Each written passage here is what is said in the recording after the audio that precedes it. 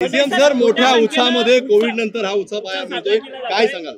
तुम्ही पुण्यात देखील गेला होता पुण्यातही तशीच गर्दी पाहायला मिळते. प्रचंड उत्साह संपूर्ण महाराष्ट्रात आहे. मुख्यमंत्री महोदयांनी आणि आमच्या सरकारने पहिला निर्णय हा घेतला की आता जनतेला मोकळा श्वास घेऊ द्या. आणि हा मोकळा श्वास आपण पाहतोय कशा प्रकारे जनता घेते. आणि पुन्हा एकदा आमचा गणेश उत्सव हा ग्लोबल गणेश म्हणून आपल्याला या ठिकाणी पाहायला मिळतो. आत्ताच तुम्ही सगळ्यांनी बघितलं असेल थायलंडच्या एका पर्यटकांच्या ग्रुपने आपली मराठीतली आरती अतिशय सुंदर अस्खलित अशा प्रकारे या ठिकाणी म्हटलेली आहे. सगळे काउन्सिल जनरल या ठिकाणी आलेले आहेत. त्यामुळे आमचा गणेश उत्सव हा ग्लोबल गणेश उत्सव पुन्हा एकदा साजरा होतो याचा प्रचंड आनंद आहे. आणि खरोखर मला असं वाटतं की सन्माननीय मुख्यमंत्री महोदयांनी आणि आमच्या सरकारने जो निर्णय घेतला त्याचं प्रचंड स्वागत आज संपूर्ण महाराष्ट्राने केलंय. अडीच वर्षानंतर तुमचं सरकार आलंय. गेल्या वेळी तुम्ही म्हणत आता पुढचं टार्गेट हे महाराष्ट्र आणि पूर्ण महाराष्ट्र. नेमकं तुम्हाला काय सूचित करायचं होतं? आमचं टार्गेट हे महाराष्ट्र आहेच.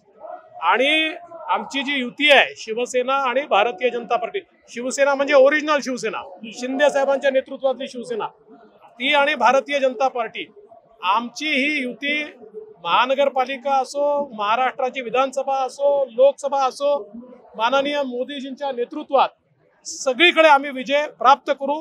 पण आज राजकारणाचा दिवस नाही आहे त्यामुळे राजकारणाचे प्रश्न विचारू नका. आज अनंत चतुर्दशी आहे. श्री गणेशाचं विसर्जन होत आहे त्यामुळे श्री गणेशाला आमची विनंती आहे येतं वर्ष हे कुठलंही विघ्न न येता श्री गणेशाने पार पाडावं आणि पुढच्या वर्षी लवकर यावं. सर याकूब मेमनवरून आरोप प्रत्यारोप होतात तुमच्यावरती सुद्धा आरोप होत आहेत की तुमच्या काळामध्ये संपूर्ण ही यात्रा निघालेली होती. त्यांच्या काळात ही संपूर्णपणे ही. आज काही तो दिवस नाही पण तरी देखील तुम्हाला सांगून देतो तुम्ही भलत्या वेळी भलते प्रश्न विचारता. पण उत्तर दिलं नाही तर तेही दाखवता की उत्तर देत नाही म्हणून सांगतो. आमच्या सरकारमध्ये हिंमत होती म्हणून आम्ही सर्वोच्च न्यायालयापर्यंत गेलो. आणि मला आनंद आहे की भारतीय लोकशाहीमध्ये रात्री बारा वाजता न्यायालयाने दोन वाजता आपले दरवाजे उघडले. आणि त्याच्यानंतर मुंबईचा बॉम्बस्फोट करणाऱ्यांना फाशी देण्याचं काम हे आमच्या सरकारच्या काळात झालं.